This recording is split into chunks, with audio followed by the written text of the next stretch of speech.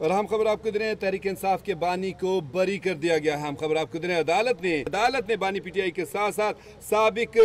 وزیر خارجہ شاہ محمود قریشی کو بھی اس مقدمے سے بری کیا ہے۔ اور اس کے علاوہ آپ کو بتائیں کہ بانی P T I Sheikh Rashid اور شاہ محمود قریشی سمیت دیگر کو مقدمے سے عدالت نے بری کر دیا ہے۔ دیکھیں آج ڈسٹرکٹ سیشن کو اسلام آباد میں بانی پی ٹی آئی اس میں جو شیخ رشید احمد ہیں، شاہ قریشی ہیں، اس کے علاوہ علی نواز اوان اور دیگر خلاف جو آزادی مارچ کے حوالے سے تھانہ آئی نائن میں درج مقدمہ تھا، اس حوالے سے، جو سے آج سماعت ہوئی، جس میں عدالت نے بانی P T I Sheikh Rashid پہ کے رہنماؤں کی درخواست سے بریت پر محفوظ فیصلہ جو سے وہ سنایا ہے۔ اور جو جوڈیشل مجسٹریٹ ہے ملک محمد عمران، انہوں نے محفوظ فیصلہ سناتے ہوئے عدالت نے جو بانی پی ٹی آئی سمیت شیخ رشید شاہ قریشی کو مقدمے سے بری کر دیا ہے۔ اس کے علاوہ صداقت عباسی علی نواز امان کو جو ہے بری کیا گیا ہے کیونکہ بانی P T I Sheikh Rashid اور دیگر پر دفعہ ایک سو چڑتالیس خلاف ورزی پر توڑ پھوڑ کی دفعات کے تحت